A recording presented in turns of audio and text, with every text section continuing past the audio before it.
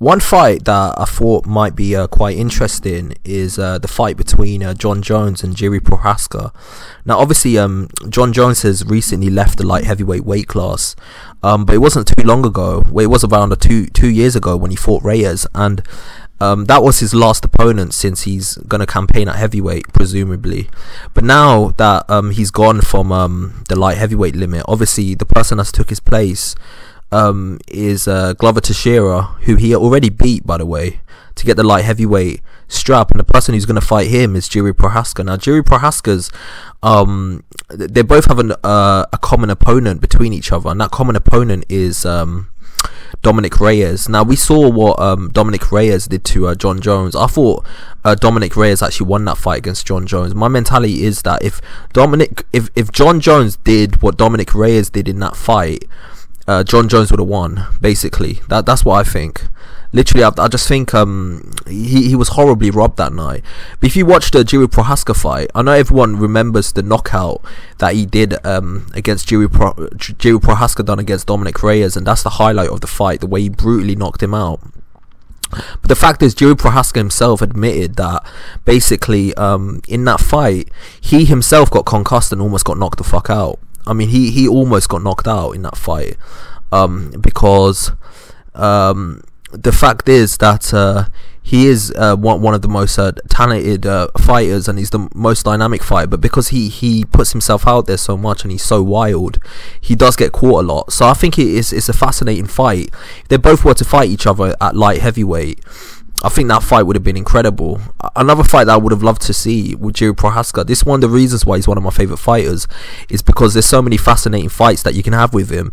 A fight against him versus Jan Blachowicz would be incredible. A fight against him versus uh, Rakic would be incredible. A fight against him and he's going to fight Glover Teixeira is going to be incredible because you just don't know exactly who's going to win. So from that perspective, I, I just think it's incredible. Um, uh, that uh, we we never got to see a fight between um uh and nobody ever talks about it because obviously Jon Jones has gone up to light heavyweight up to heavyweight. Um so yeah so from that perspective I, I just think it'll be a fascinating fight. I think both of them are exciting. And uh, Jiri I, I would edge towards Jon Jones just because Jon Jones has accomplished so much and is potentially one of the greatest of all time. But if Jiri if if Dominick Reyes can do to Jon Jones what he did, um, the guy that beat him, which was uh, Jiri Prochazka, you could just imagine like what type of fight he would give him. Even Jan Blachowicz would give Jon Jones a good fight, I reckon. So from that perspective, and uh, I, th- I think is is is one of the uh, most Im- incredible fights that I could we could potentially see. Um, but obviously now Jon Jones is going up to heavyweight and he's negotiating for his pay and what he wants. There, we're probably never going to see it. But I honestly think a Jiri Prochazka versus a Jon Jones would be an incredible fight. Um, you've got the greatest of all time against one of the most dynamic, interesting fighters of all time. Um, not of all time, but in recent years, I think Jiri Prochazka is definitely one of the most fascinating fighters that I've ever seen.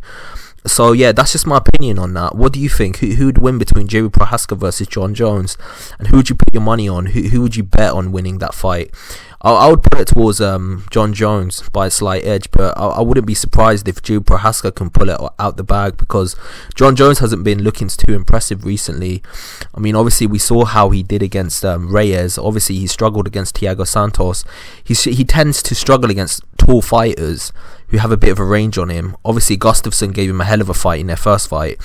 Um, and obviously, uh, um, Jiri Prochazka uh, fits that type of archetype. He, he's a tall fighter with, with a lot of um, with, with a lot of uh, um, awkward movement and, and a lot of range as well. So I think he can give give Jon Jones a hell of a fight, and I think he can um, actually hurt him and put him in a position where um, he he could be vulnerable. But unfortunately, we're never going to see that fight again um, ever because um, obviously Jon Jones has gone up to heavyweight. There could be a possibility it happens if Jiri Prochazka goes to heavyweight, but um, that's neither here nor there. That that could be a decade from now or five years from now. So we just don't know what's going to happen. So yeah, it's just just the food for thought. Who do you think would win between Jiri Prochazka versus uh, Jon Jones if they were to fight? Just from a stylistic point of view, let me know below and uh, like and subscribe to the channel. I've got a lot more content coming your way. Peace.